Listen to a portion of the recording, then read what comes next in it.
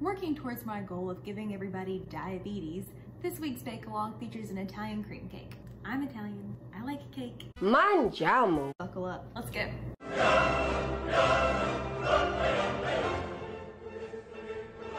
First things first, prep your pans.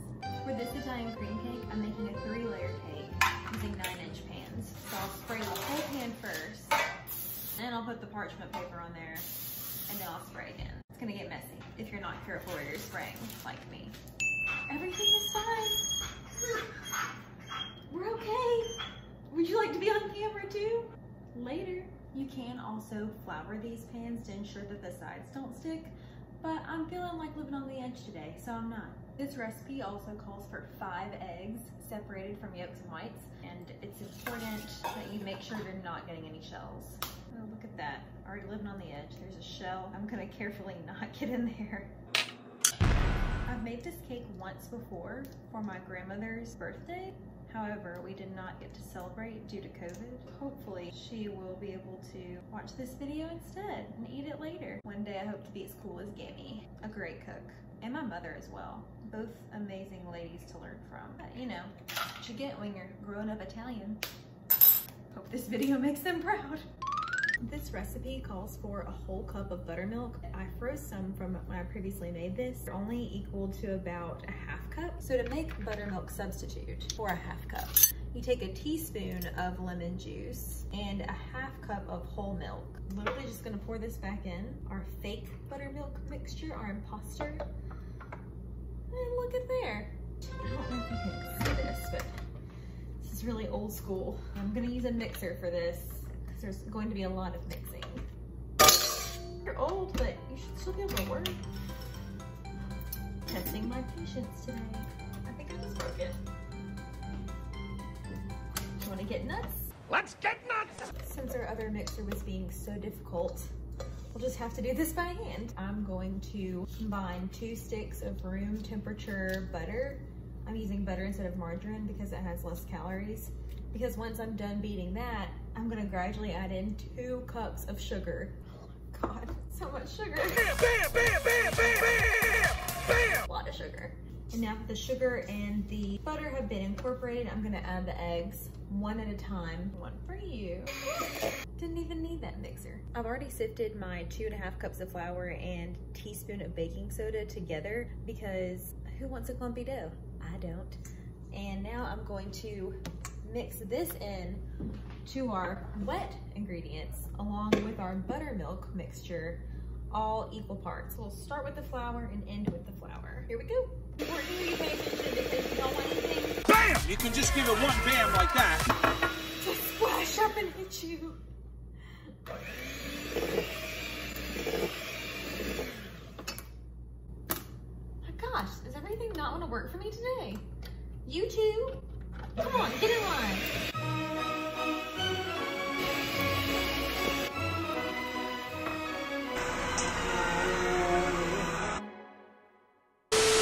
I've made a mess with our batter, we're going to fold in our two thirds cup of chopped pecans, three and a half ounces of coconut, a teaspoon of vanilla, maybe a little more. Whenever you're adding something to a batter like pecans or chocolate chips, coconut, you wanna be gentle and fold. You never wanna use a mixer because that will ruin the integrity of the ingredient. Next up, more mixing. I'm going to beat all five of our separated egg whites until they're foamy. A half teaspoon of cream of tartar, and this will help us achieve stiff peaks. Almost there. Target coming up. The third time. We're going to gently fold these into our batter. It smells really good already. Let's move! Our cake batter is ready. I'm going to evenly scoop it in our three cake pans. Your oven is ready. It should be set to 350 degrees. One for you, one for you, one for you. Scoop, skip potatoes. Ah, ah. Scoop, skip potatoes. Bang! This goes in your mouth. Naturally good. Yes, I just did wash my hands. So those will go in the oven for 25 minutes or until you insert a toothpick and it comes out clean. See you in 25. Outside. treat. Bells will ring, ting-a-ling-a-ling, and you'll sing Cause you look delicious. Vita Bella. Perfecto. I've removed all three of our cakes from the oven and now they're going to cool in their pans on wire racks for 10 minutes. While your cakes are cooling, you'll want to get yourself a drink. I mean, get the rum that you plan on using to add a splash of flavor to your cakes. We're gonna try this one. This is a dark rum. Salud. See what all you can accomplish in 10 minutes? It's also enough time to sing some Italian opera.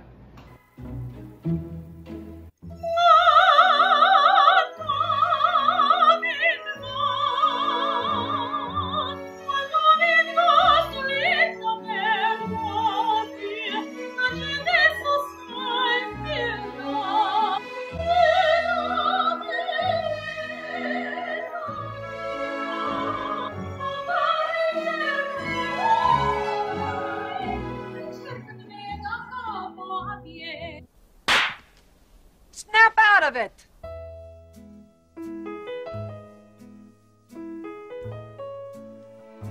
Now that these have cooled slightly, I'm going to flip them over. Oh, look how nice that looks. I'm going to put a tablespoon of rum on each of them. I'm gonna brush it in because I want this to seep into every crevice of the cake. I don't want one, one bite to pack too much of a punch. That's not a bad thing though. This cake will have lots of flavor, if you know what I mean. Why is the rum always gone? This icing requires one and a half cups of pecans. The size of the pecan really is your personal preference. If you like a thicker icing, frequent you feel. Don't chop as finely.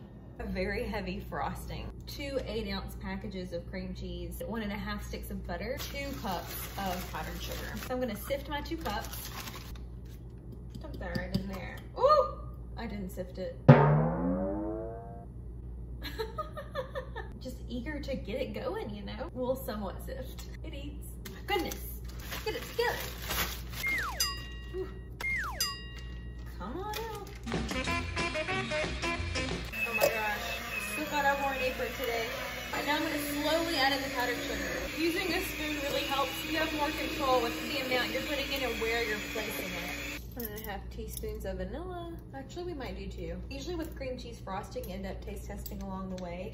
And I might add a little bit more powdered sugar, a little bit more cream cheese, just depending on the flavor I want for that specific cake or recipe. Let's give her a go, shall we? Probably too big. More powdered sugar. That should do it. If it doesn't, you can always add more. New spoon. Oh yeah! And again, we are stirring. Gently fold is gonna be the theme of this video. I made more than anticipated. You might need some more for your cake. You can eat it later.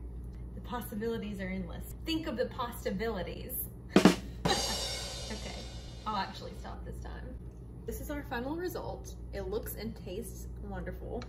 I'm gonna let this sit in the fridge actually for a little bit before I decide to frost because I want it to get a little bit colder. It's easier to work with that way and I need to do some cleaning up. Now for the fun part. I'm gonna put a small dollop on the base just so the bottom of our cake and doesn't move when I begin to frost. Eeny, meeny, miny, moe, catch a tiger by the toe. Oh yeah, a bit of icing on there. I do want to make sure I get the edges well because those will be the parts that we need to fill in as we continue to build our cake. Okay, once I've got a good even bottom layer, I'm too short to see. Kind of pushing it in the middle and then I'll spread it out. For a cake like this with a textured icing, it's really important not to push down too hard. You can always push the excess to the edges because they're gonna get covered anyways. For the final layer, I'm gonna place this one bottom side up. I want the top to be as smooth as possible. So I just threw that on there and I, she's about even. All right. I've added my parchment paper back just because I'm getting towards the bottom and I don't want of mess. I'm gonna make her jump to light speed. Now that I've frosted this pretty dang good, I'm gonna go in with a spoon and just make sure that I have all the small, small little nooks and crannies that I'm missing. Yeah, so just run your spoon over it kind of like this. Again, not too hard. Gentle, gentle designs. Oh, she looks great. So I'm gonna take these whole pecans and place them around the outside edges. And I want them to be face up. Stand tall, stand proud. This is a proud cake. Bravo! Bravissimo! Now that your beautiful Italian cream cake is complete, you can either serve it immediately or you can wait and refrigerate it and serve it at your convenience. But knowing me, I want it now. Gosh, it looks beautiful. It was a really nice even slice, not crummy at all.